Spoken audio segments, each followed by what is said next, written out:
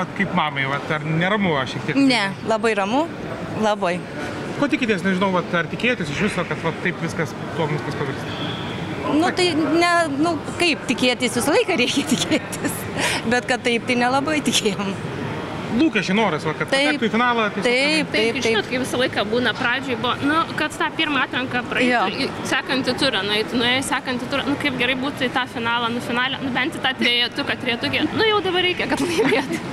tai taip ir gavosi. Jautėte tą pačią Silvestro kažkokį jaudulį ar kažkiek? Kaip, kaip Žinokit, e, su Silvestru mes Silvestrą dažniausiai matom internete per interviu. Tai labai mažai tenka bendrauti, bet šiuo metu mes atsitraukę, paliekam, kad jisai susikauptų. Tai per daug, žinokit, kažko labai ir nematom, nes tiesiog, va, va dabar irgi matom, tik taip per atstumą. Vardai jūsų? Benita.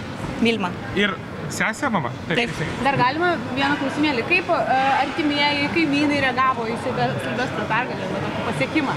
Džiaugsmingai, puikiai, labai Mes džiaugiamės. tiek rėkiam, kad aš vos nenualpau, jau mane Draugė žiūrovai pradėjo filmuoti, nes irgi čia buvo kažkas tokio tikrai, iš tikrųjų nesitikėjom.